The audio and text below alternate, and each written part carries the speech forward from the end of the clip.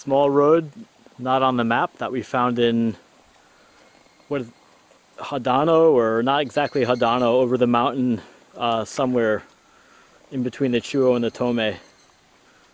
And we're gonna do some more exploring see where it goes.